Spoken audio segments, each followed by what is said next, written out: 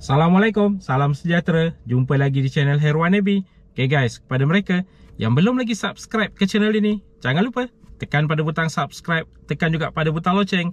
Thank you guys.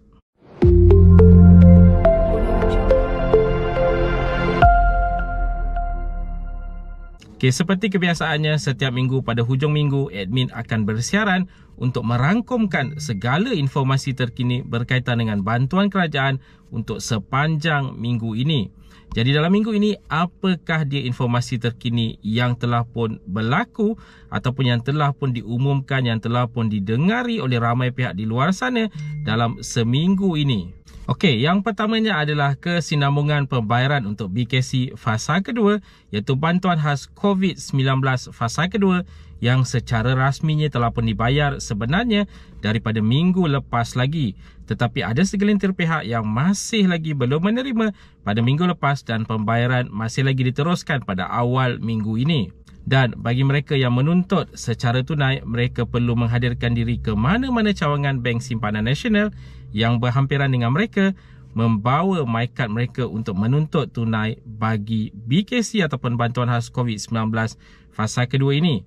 Itu adalah BKC fasa kedua yang pembayarannya bermula seawal minggu lepas lagi dan segelintir masih lagi baru menerima pada awal minggu ini. Kemudian kita ada untuk pembayaran air citra untuk bulan terakhir walaupun ramai yang memperkatakan ianya bukanlah bantuan sedikit sebanyak sebenarnya ianya adalah bantuan kerana kerajaan telah melonggarkan syarat-syarat pengeluaran bagi membolehkan pencarum-pencarum mengeluarkan daripada akaun KWSP mereka ini. Jadi seperti yang admin war-warkan sebelum ini pembayaran bulan 12 adalah pembayaran terakhir bagi ramai di luar sana yang menerima seawal bulan Ogos sebagai pembayaran untuk bulan pertama mereka.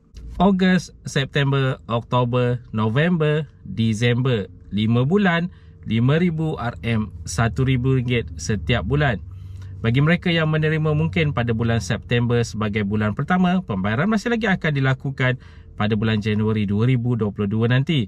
Begitu juga dengan mereka yang menerima seawal bulan Oktober pembayaran pertama, pembayaran terakhir akan berlaku pada bulan Februari 2022 nanti. Jadi setelah selesainya pembayaran untuk air citra ini, bulan terakhir, persoalan seterusnya apa akan jadi selepas ini? Akan adakah kesinambungan air citra 2.0 atau akan adakah skim-skim terbaru pengeluaran KWSP diperkenalkan?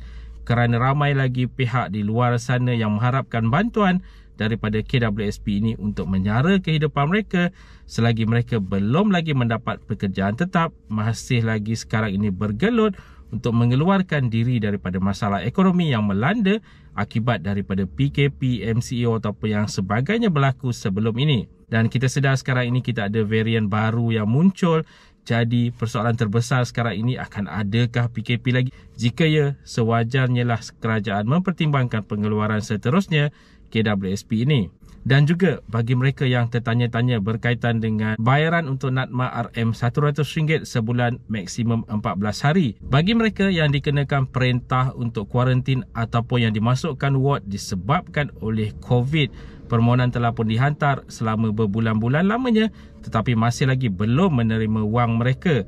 Jadi NATMA dalam kenyataan terkini mengeluarkan memberitahu bahawa pembayaran akan dilakukan selewat-lewatnya 15 Disember 2021 ini bagi mereka yang masih lagi belum menerima RM100 selama 14 hari maksimum ini. Sebarang informasi terkini anda boleh pergi ke laman sesawang rasmi NATMA iaitu natma.gov.my. Okey guys, itu tadi sedikit perkongsian berkaitan dengan informasi terkini bantuan kerajaan sepanjang minggu ini untuk rujukan anda. Jika anda ada sebarang komen, sebarang pertanyaan, anda boleh tinggalkan di ruangan komen di bawah. Dan kepada mereka yang belum lagi subscribe ke channel ini, jangan lupa tekan pada butang subscribe, tekan juga pada butang loceng. InsyaAllah kita berjumpa lagi di video yang akan datang. Stay safe, stay healthy. Assalamualaikum. Thank you.